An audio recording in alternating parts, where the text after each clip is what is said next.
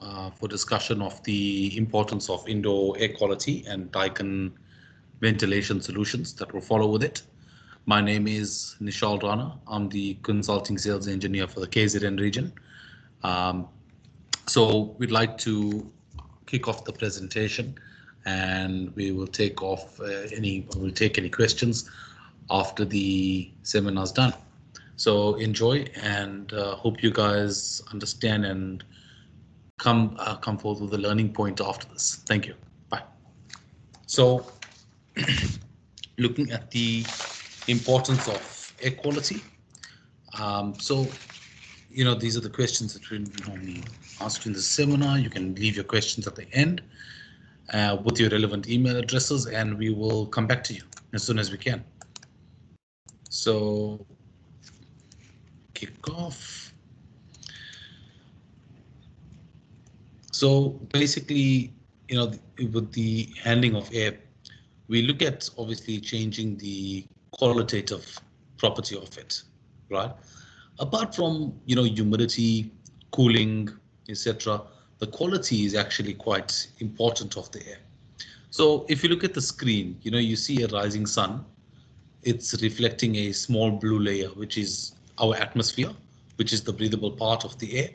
Uh, and it's very tiny. It's about 10 kilometers in proportion to the Earth's size. So if we compare a soccer ball to this, uh, being only about 22 centimeters, and if we take a, to visualize it, take a tin foil and wrap that soccer ball, you'll only have a layer of about 0.17 millimeters thickness of air.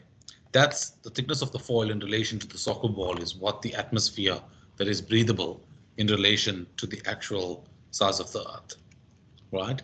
So, you know, from the uh, EEA, which is the European Environmental Agency, um, you know, to a point of how much of pollution is actually occurring um, in Europe. And apart from COVID, or, or, before COVID came into the picture, um, Europe, in Europe, they did a study on about 50, at about 520,000 people in Europe per year um, are affected by poor quality air.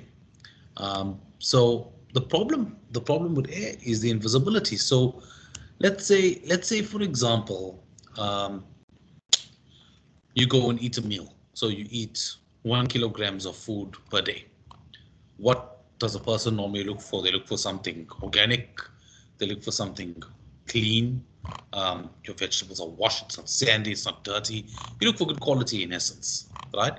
You eat about what five times a day, five meals a day, five small meals. Some people three. And even if you look at water, you wouldn't just go and get water from a dirty river and drink it straight away, right?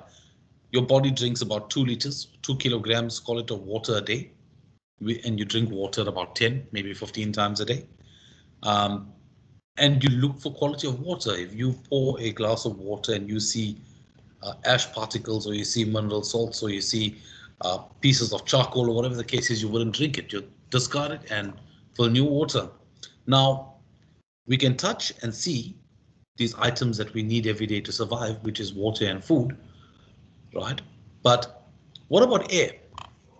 The reason why people do not focus on air is because we we automatically breathe. It's an involuntary response, and we have uh, limited control on what air that we consume. And look at how much of how many times we use air. We use air approximately every second. Every second, you every second or two or three seconds, call me a liar. You're breathing in and out. So why do we not strive for good quality air? So that's what basically the uh, presentation is going to actually be hinged about. Uh, there's just it in graphical form of what we actually, what I actually broke down for you guys.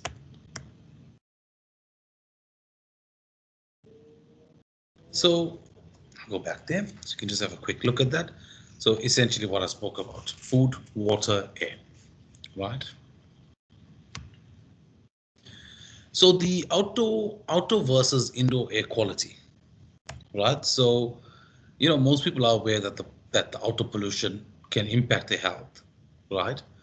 but the, what recourse do you take for it? So the poll, the poll done outside is that is that if you look at particles itself, right? Even though an outside city area is polluted or it's highly populated, when studies were done, the pollution levels outside was still sort of an acceptable level to the pollution levels in an inside space, which is actually shocking because some people think that they within the house can they free from or not free from dust, but they have less contamination particles in the area. Uh, whereas outside it's the it's the open air and the movement of air and what we commonly call in air conditioning air changes, which makes the outside air better quality. So I'm going to be touching into, I'm going to be going to something quite technical um, uh, in terms of uh, in terms of uh, micro particles. Uh, I'll try and go as slow as possible so that some guys can can sort of click click on because it's relevant um, uh, to the to the slides that we're going to touch at the end. So if you get lost now, just just pause and go back if you have to, uh, because this is quite an important part. So um, outside particles are made up of particle matters, right?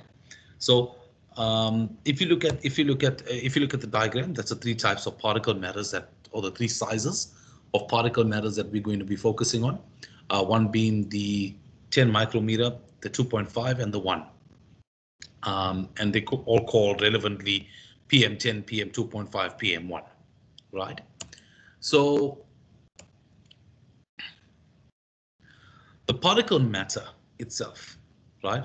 Um, PM 2,5, which is, I'll go back to the slide, which is the middle one, right, is classed as fine, as you can see.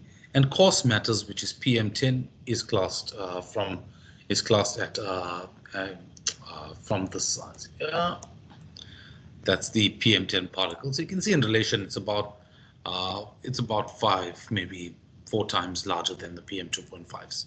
Uh, but this will all make sense soon. So just get there.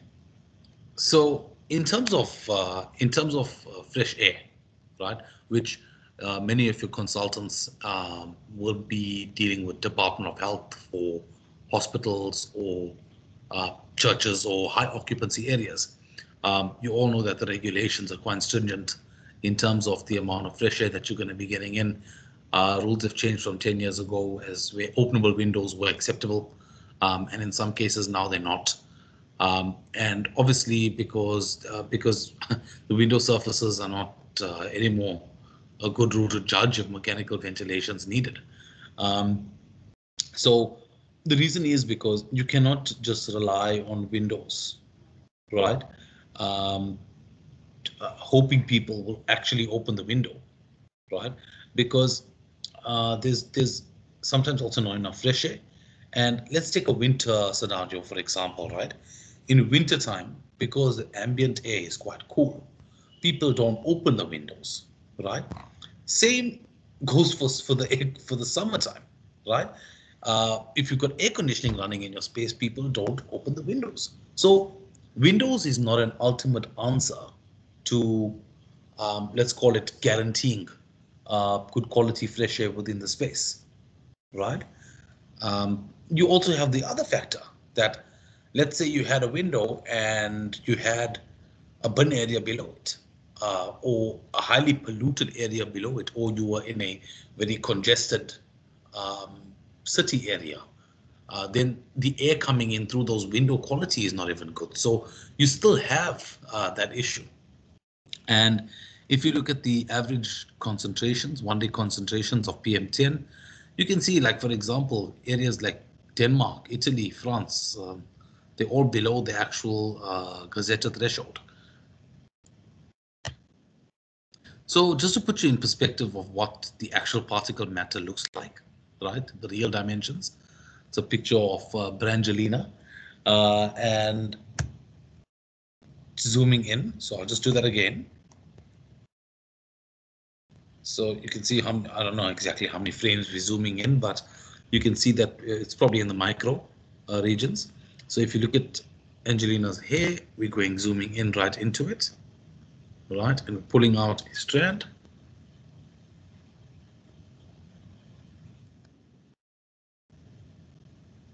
So that's the real dimensions of the particle matter, right, in relation to the hair. So if you take a cross section of a strand of hair, that's what it looks like. It's 65 micrometers, right? That's a cross-sectional dimension of human hair. A PM10 particle is that large white circle. A PM2.5 is the one that's just shown now. And the PM1 is even smaller. So you can imagine a piece of hair. Right, pull out a piece of hair from your head uh, and have a look at it and look at it in a section wise and you can just imagine how fine the particles are to actually be PM1 and PM2.5. Even PM10 is small to the naked eye. So why are we so concerned with the particle matter and the size of what we're looking at? Ever since COVID, um, there's been a need and a demand to actually enforce better quality of air uh, and, and sanitization. Um, and which which everybody knows. I don't want to get in. I don't want to get too involved in the COVID philosophy of it. Uh, but the this is the pollution. So a particle matter 10 generally can be captured by your nose and pharynx, right, and your trachea, right, which you can sort of uh, eject it, right, by coughing or by sneezing. So those dust particles that are around the PM10 region can get trapped within there. So your PM2.5 attacks your bronchia and your bronchioles, right? And the danger one is your PM1, right, which attacks your alveoli. And this is where the this is where the real issue uh, can get serious because you see our nose our nose has what you call natural filtration and the particles can be stopped. But from PM 2.5 and PM 1 they pass the nose right? From PM 1 they go into the alveoli and what's the problem when they go into the alveoli is that they actually jump into your bloodstream. As you can see you can see your blood vessels connected to it right and smaller particles are always the most dangerous. And the problem we have is that PM1 particles form about 90% of pollutions uh, or, or pollutants, if you want to call it, right? Lighter particles, right, uh, stay longer in the air. So just to put you in perspective, so that is the whole point of showing you uh, Angelina's hair and showing you the cross section of what the relevant sizes are and even one further, now showing you in the application of the human body, how this affects you. So besides the health risk for PM1, so your you get your highest highest mass, right, of particles in the air, which comes from uh, the 100 uh, nanometers to the 2.5 micrometers, which is your PM1 to PM2.5 you got your particles smaller than one micron, contributing to over 90% of the numbers. That's your PM1. And the lighter and smaller a particle is, as I explained earlier, the longer it stays in the air because it just carries on floating all around. So due to the, obviously for the harmfulness, frequency and, and permanence, the particles smaller or equal to PM1 need the highest attention.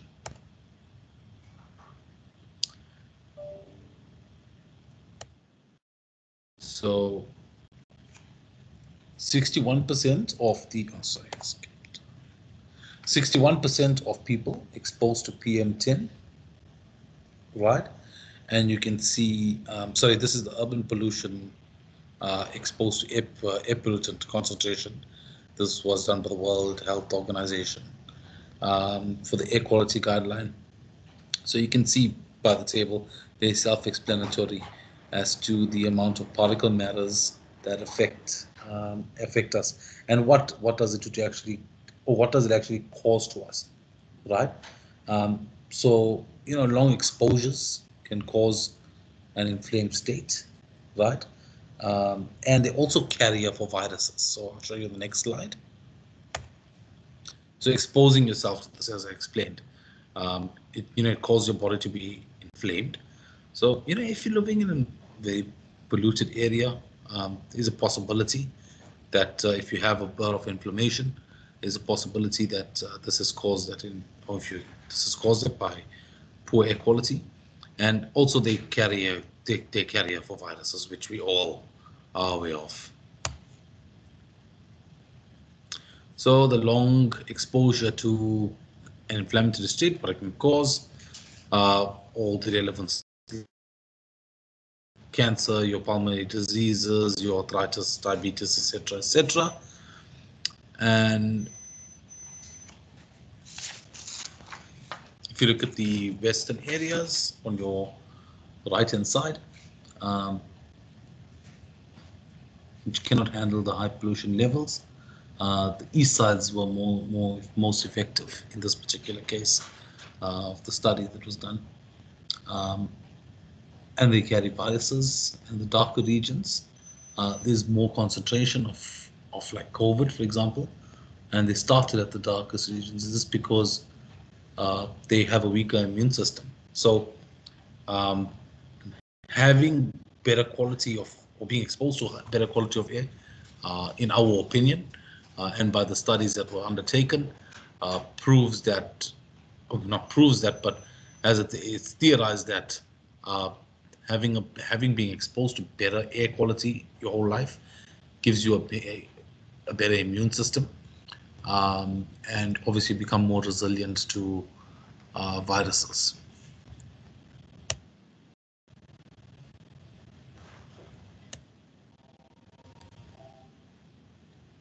Just to look again at it. So this was this was done uh, on your right hand side, and they looked at the days you know being exposed to the virus and what and what actually what actually was caused to it.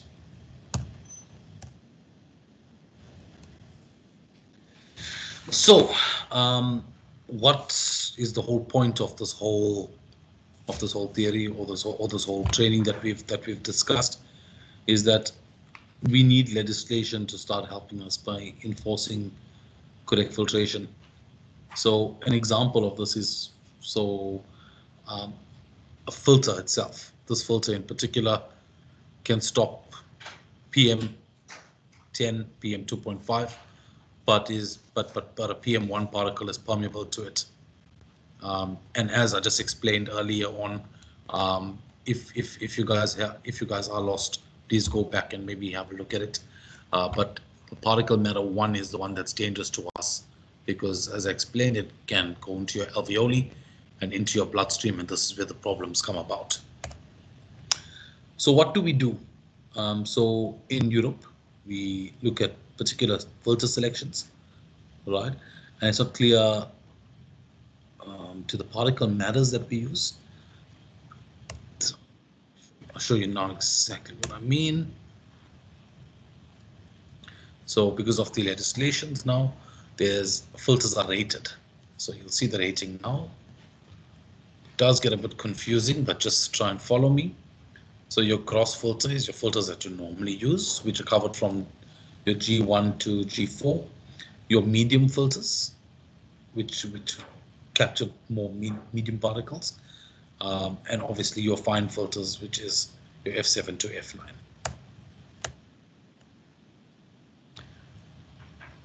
So it's now now that that was how it used to be rated, right? your G1 to F9. And now they're replaced by a group of classifications, or let's say there's a different range available, uh, which has classifications of particulate matter fractions, which is your PMs, your PM10, your PM2.5, your PM1 that we looked at earlier. So that's how that's how now the filters are rated. So just get into it. So just try and follow, right? So if we say, for example, we have an F7 filter, right? And uh, we've got certain parameters that we have. The F7 filter it's, itself um, can stop, for example, 89% of the PM10, 67% of the PM2.5 and 49% of the PM1. So let me just go back there. So basically, if the problem or the, or the requirement was to achieve a class, as you can see on the left hand side, the minimum efficiency must be 50% reached. That means that because the PM1 while on an F7 filter rated to 49% efficiency, we cannot rate it for that, right? So what do you rate the filter? You rate it as a PM 2,5 at 67%, for example, but they always are rounded off to the fives, right, and below. So that's why the 67 we rounded off. When you rate it, you rate it at a PM 2,5, 65%. So what does that mean? That means it is 65% efficient for any particle matter which is 2,5 size and above. The higher you go in size, the better value you would get. So as you can see, you would be almost 90% efficient against a PM10 particle. That's basically the general ratings that we have on our filters. So there's auto air, which is filthy, made up of contaminants, made up of particle matters from 10 to 50, made up of particle matters made from 2,5 to 40, made of particle matters from 1 to 30, right? And it goes onto a filter. What happens?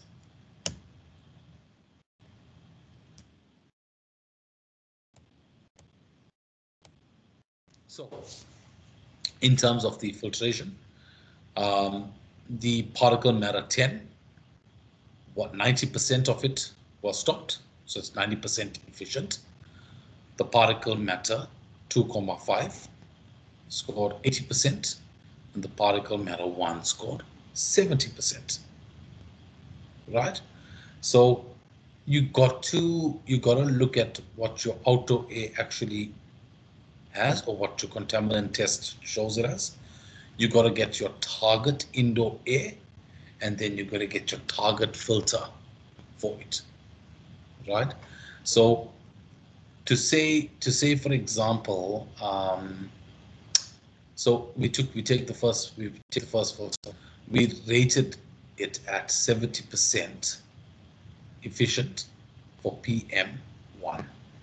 That's what we rated it for right? Your second filter that you put on the system was rated at 85% for PM1. And that and what was our achievement? Our target was 83% of PM1.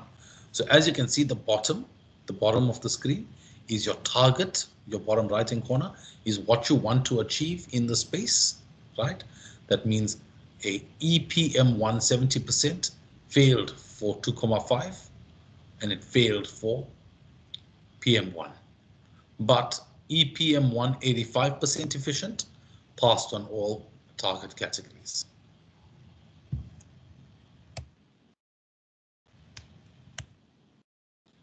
So what needs to happen in the future? They're probably going to have uh, air monitoring systems to measure toxicity in the space. Um, all this, all this technology already exists.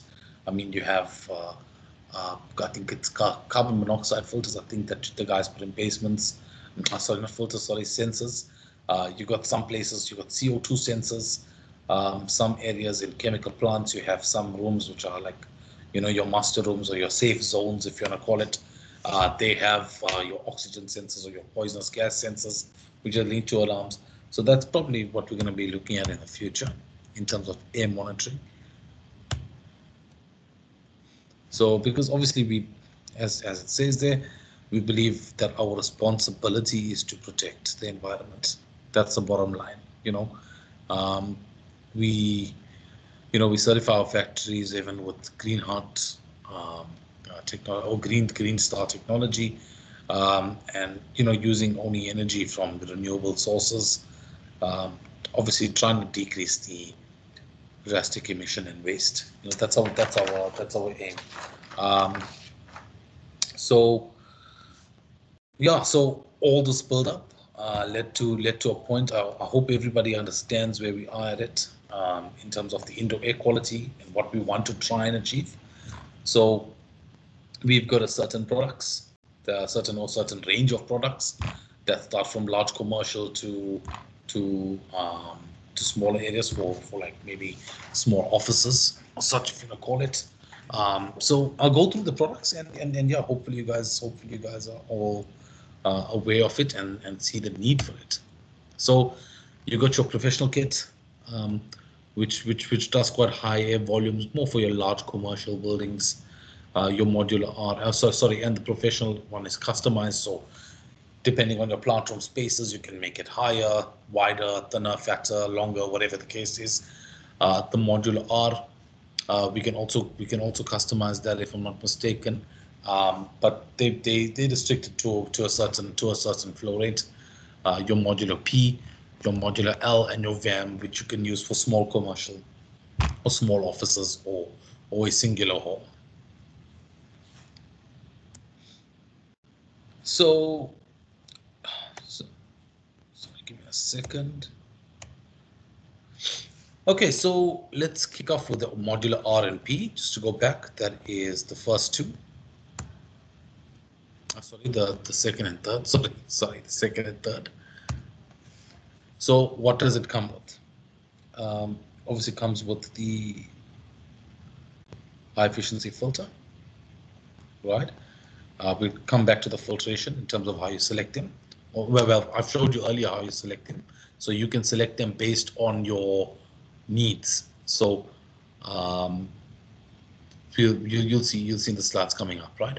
So you got your liquid uh, gasket technology, right? Uh, which uh, in which which drastically enhance the air tightness performance. The you got your flush inner surface, right? And you got your internal internal round profile. Why is the round profile so important in this day and age, especially since COVID hit us, is that it's easier to clean. Do yourself a favor, look at look at a rounded edge and try and clean it. Look for one somewhere in your house and look for a corner. You'll notice in the corners there's always dirt build-up and it's the most difficult to, to clean. So when everything is rounded along the whole air handling unit, it makes it much easier to clean.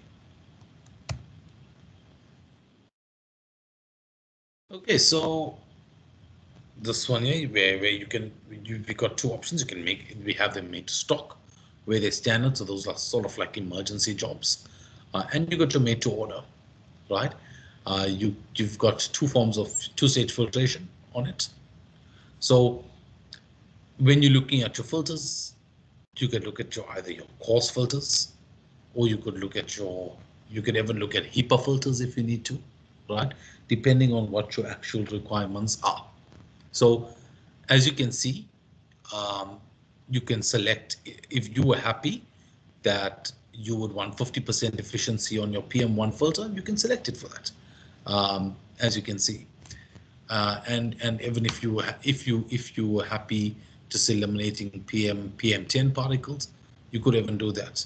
Uh, you could select an EPM10 for 75% efficiency or if you or if you're in an area where uh, I don't know, I'm trying to think of the application where you have a lot of dust particles out and maybe you're burning something or, or you're in a plant or whatever the case is and you have a lot of ash where you're building, where, where you're pulling in your air. You could have a coarse filter first and then maybe a uh, a PM10 or a PM1. You know, it's just it's just really dependent on your on your application. So the so the DAHUs, um, as as I explained, customized solutions, they're tailor-made basically uh, to your to your needs. You got your you got your relevant flow rates and you got a plug-and-play control solution. Do you normally use these ones in uh, ph pharmaceutical areas, oil and gas, which is also plant, uh, your hospitals and data centers. You know, the, the areas that sort of have uh, like data centers need to be uh, as free of dust as possible. Now, pharmaceutical pharmaceuticals also same story. Uh, oils and gas areas or plants need clear, clean air um, in their safe zones. And obviously, hospital now, since we've at this outbreak of COVID, they're looking at as uh, they they normally look for the HEPA filtration uh, as to what as to what they actually uh, accept. Modular R and P, same, very similar. You can do almost the same thing with it. It just comes in a smaller range. Um, it's a plug and play solution, so you don't customize it. Um, and you're looking at maybe for comfort cooling, warehousing, offices, hotel areas. Um, sorry, sorry, you can also have them um, produced uh, at that capacity range, um, uh, custom made, sorry, uh, because it would depend, they would size relevant fans, uh, depending on what sort of static pressures you're looking at, especially if you're looking at HEPA filters. Um, you know, some AHUs could have, you might need an external also of, uh, of 400, 500 pascals. Um, and you might have an internal of about 350 uh, pascals, depending on the case. So uh, you can custom make that also. So these these um, these are not custom made. These are these are standard solutions. Uh, they actually look quite neat, especially uh, when your architect or your interior designer is looking for a more industrial style office uh, where it's exposed with no ceilings. It's quite a neat looking unit. Um, as you can see in the image there, it's got like a nice, uh, what I say? It's like a Chromadek or like a, or like a high, or like a high fine paint finish. Um, but but yeah, it looks it looks quite nice in person. Uh, sorry, in, in, physically when you see it. Um, and yeah, you normally use this for offices. You can highlight commercial. You could even use this in houses, depending on how big your house is. Um, so that's the flow rates that we normally look at achieving. And even with these, you can you can depending on you can even choose your filter that you use. Um, but we'll go into more detail on this just now. And then and then you've got your VAM um, your VAM you'd use obviously for like your light commercial offices. I haven't told you for houses. I mean, you could do this for one house. You could use one VAM unit for one house itself, like a four or five bedroom house. Um, only thing is you restrict it on the static pressure. Um, you can't really put HEPA filters on it. Um, you're looking at, I would say, I would say even if you're looking at an EPM1 70%, um, you don't, if you the, the bigger filter you're putting in, uh, the less static you're going to have down of your uh, also uh, from from your spigot to your relevant points in your house. So it's also dependent theoretically on on on on, on what your run is. Everything's application dependent. So what you um, what you lose on the swings, you make on the roundabouts. You know. Um, so focusing more on the Modular L because this is actually, um, in my opinion, uh, one of the best models to use for, uh, and that's quite robust. That's quite um, easy to easy to um, manipulate in ceiling voids. Uh, also in terms of in terms of uh, flexibility, design flexibility. Um, you know, you can there's certain items that are plug and play that you can change uh, to what you actually have. So one of the advantages you've got your premium efficiency counter heat exchanger, right? You've got filters which you can choose, as I explained, your G4, your M5, F7, F9. You've got two-stage filtration on it. Um, you've got your EC centrifugal plug fans on it, right? Uh, your pre-painted, art, that's an aluminium, uh, alu zinc material um, uh, with your mineral and you have your flange connections, which are shown there, and you have your bypass damper. So detail on this. So this is what a planned uh, schematic view looks like. So like, for example, on your on your air, right? Um, uh, you could you could have on filter A, as you can see, you can have a G4, M5, F7, depending on what your requirement is. And your filter B can be an F7 or an F9, right? Your second, your, your, your primary filter normally, you use it for catching your bigger particles, right? So uh, normally you would use maybe an M5 on it and your and your secondary filter normally you'd use about a F7 on item B. Um, and that's your fresher coming in from the outside right? Now on your return air itself right? Because remember now you've got four points of entry and exit. Because what this is doing it is creating air changes within the space, right? But at the same time, it's also filtering the new air coming in from outside, thereby saving you energy, number one, right? And number two, still maintaining a, a, a clean or good quality of air coming into your space. And like if you look at the return air, depending depending on your application, I mean, you could be in a clothing factory, for example, um, you would need on filter C, you'd need the F7 filter or F9 filter, um, and you'd need maybe an M5 on your D filter. Um, whereas if you're sitting in a standard office with a standard occupancy of one person per 10 squares, you can get away with a G4 on filter D, and you don't even need to really put a filter on filter C, right? So it's it's really depending on your application um, and your judgment as an engineer or an AC contractor or a service and maintenance uh, company uh, to decide on what exactly you actually want. Yes, so looking at looking at the rural areas, looking at the city areas, industrial areas, you know, we're just looking looking at the classifications of the outdoor airs, and yeah, surprisingly, the rural areas, uh, well, not surprisingly, but the they they count as a low pollution uh, level area, whereas an industrial area is classed as a high pollution area. So this is your this is a different um, classifications. You get sub one, sub two, sub three, sub four, sub four being the highest. So filters and the minimum filtration efficiency based on the particle of the outdoor air quality now. So when you are looking at sizing filters, right? No, not sizing filters, but selecting filters, you got to be careful, right? So you got to first understand what's the classification of your air. So let's take, for example, a So the value of the Daikin filter as per the ISO standard, right?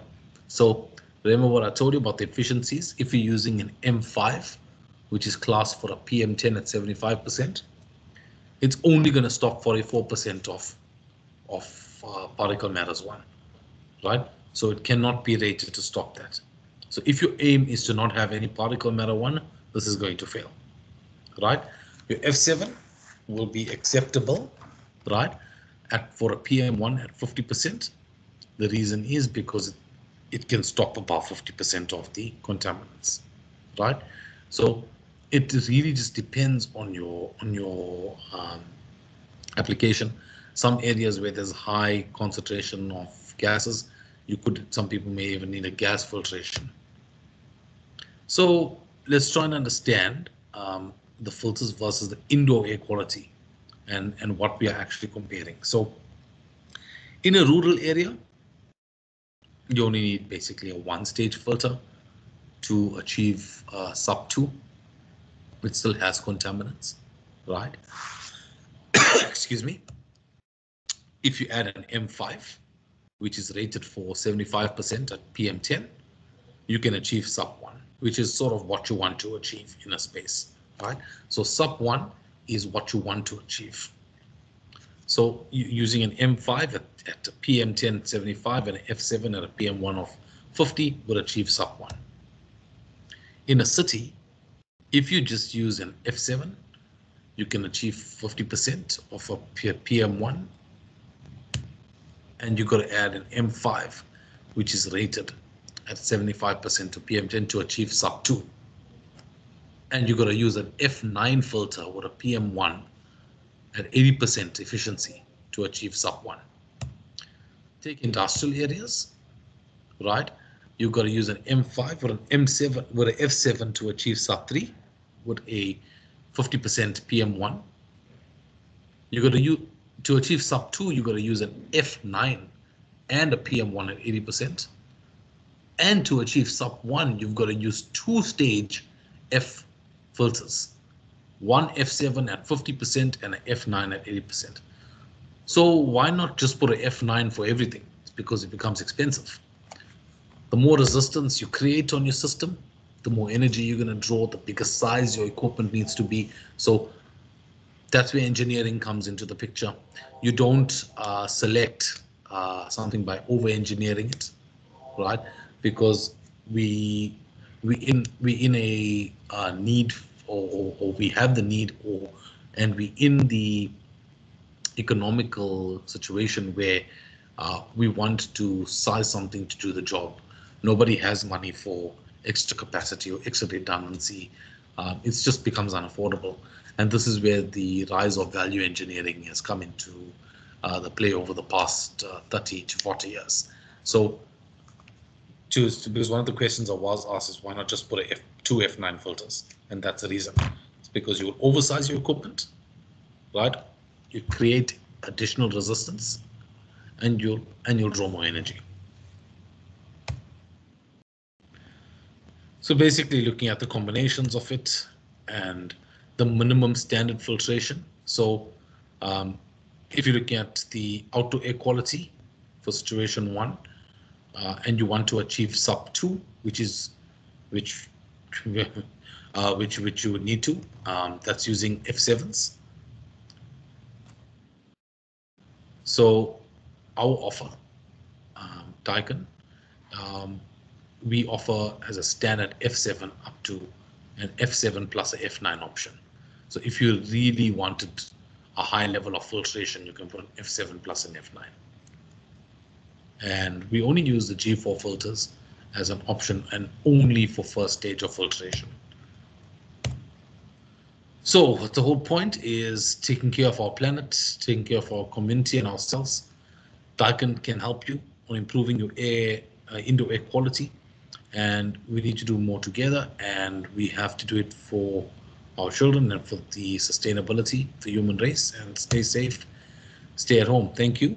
And uh, just to just to also put an input here, we also have uh, air purifiers, uh, Daikin air purifiers, which um, which I think there is a video on our Daikin page uh, with the that it, ha it has flash streamer technology, uh, which you can see in terms of the studies were done.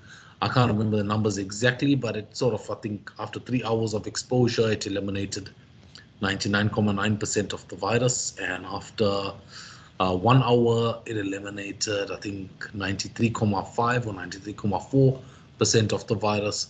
Uh, just have a look at it. There are other videos. And yeah, thank you for your time. Goodbye.